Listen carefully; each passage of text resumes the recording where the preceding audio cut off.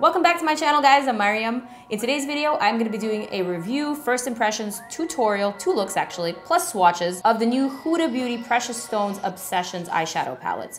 These are brand new palettes that just came out. I was so excited to receive them in the mail. So I wanna try them before you buy them because I wanna give you the scoop and I wanna tell you the truth per usual. Let's get to this video. Remember to subscribe, comment down below, give me a thumbs up, hit that notification bell because it's important, and let's do this. All right, so now we need Lee so we can zoom into this video real quick. Lee! Hit me with that zoom. Okay, so let's get to these Huda Beauty Obsessions eyeshadow palettes. This is what the Precious Stones packaging looks like. It's a very cool pentagon shaped, diamond shaped sort of box that opens up like this. On each side of this pentagon box, you have these gorgeous pictures of Huda wearing different eyeshadow looks. And when you open these up, this is actually really, really cool. Probably one of the coolest PR packages. I really like how simple yet effective it is. It's not super over the top, but it's memorable, and I think I'm gonna keep this one just because I like this format. It's not too bulky, it's something that keeps the eyeshadows, and it's very inspirational as well with all her pictures, so I like it. So obviously these eyeshadow palettes are inspired by different precious stones. So we have topaz here. Here we got ruby obsessions, amethyst, the purple, sapphire, the blue, and emerald, the green.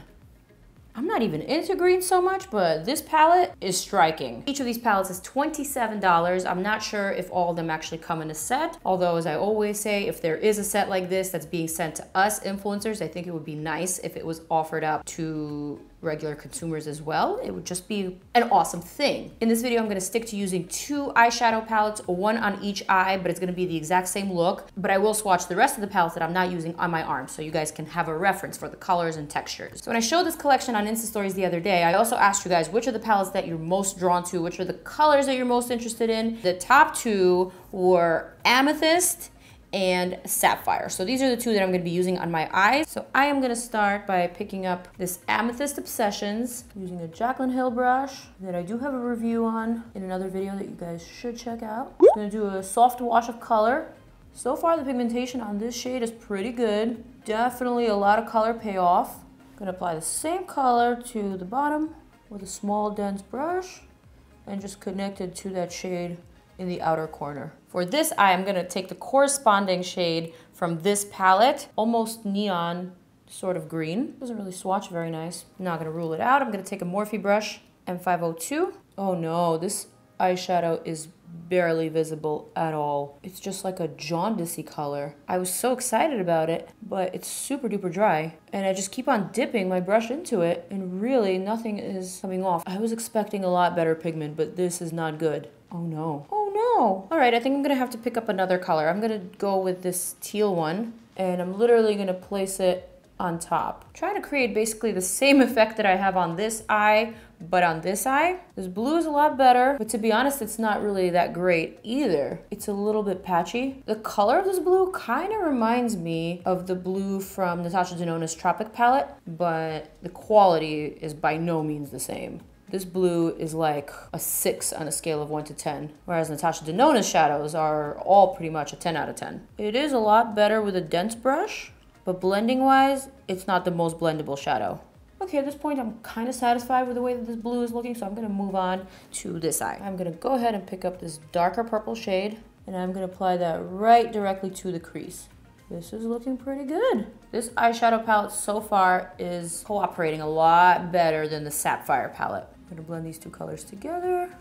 Yup, they're blending pretty seamlessly. And I'm gonna add a little bit more of that darker shade to the bottom and connect it again. So I'm actually gonna stay on this eye just because I like the way that this one is coming out and I really wanna be in this mood right now. So now I'm gonna pick up this shimmery shade and with the somewhat stiff brush, I am gonna just place this shade here right under my brow arch. Not something I would typically wear on a brow bone, but it's the lightest color that's available in the palette. I really like it. I really want to keep it kind of monochromatic. I'm just going to blend it a little bit. I don't want that super harsh line. Next, I want to pick up this shade. Feels really smooth and silky. Wow. And I'm going to begin stamping it to the very center of my lid. This is a really beautiful foil. So now for the outer corner, I am thinking this shade here. I love the fact that it's kind of a vibrant purple, so it's not a blackened shade like we typically like to put in that outer groove. So instead of giving it that dark depth, this gives it kind of like a hint of color. So I'm gonna take a little bit more of that darker matte and just kind of complete it here.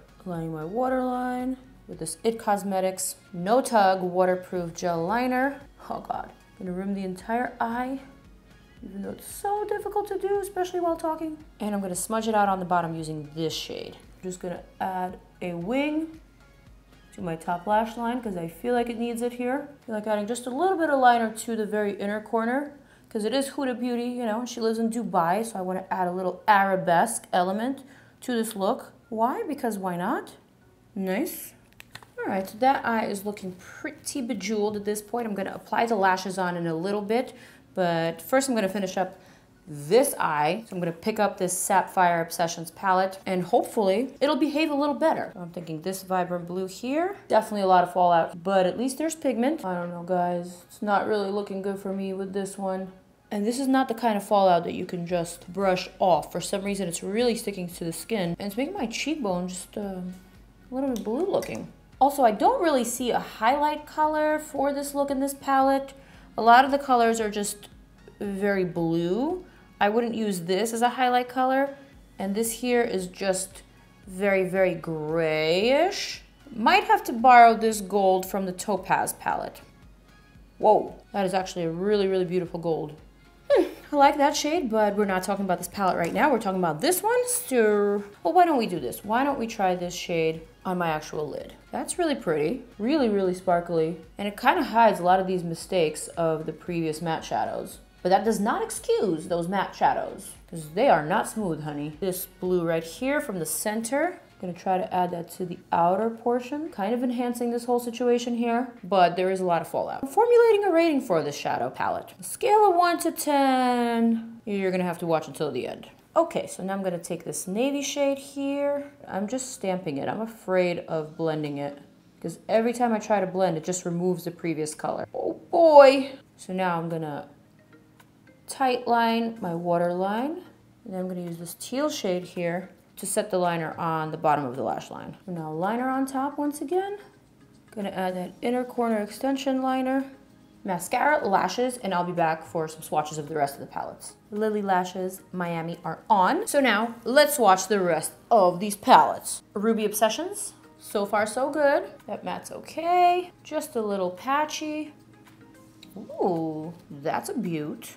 And let's do the final one with my thumb. Not bad at all for Ruby Obsessions. This shade and this shade here weren't the best swatches, but the rest are pretty nice. So an 8 out of 10 is what I'm gonna give Ruby Obsessions. Now let's do Emerald. Woo, that's beautiful. That matte mint is promising. That green right there, girl. Four down, five more to go.